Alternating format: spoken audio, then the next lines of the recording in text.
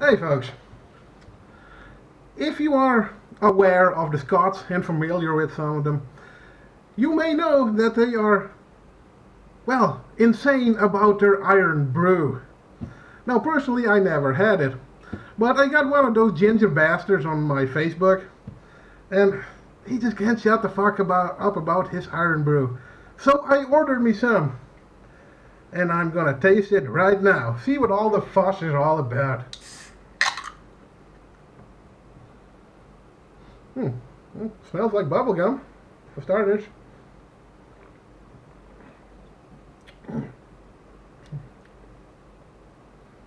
Hmm. Well, I'll be damned. This is actually very goddamn tasty. So, uh, yeah. I was going to give the ginger bastard some shit over it, but uh, I'm afraid I can't because it's uh, it's tasty. Guess I'll have to find another way. Everybody, have a good weekend.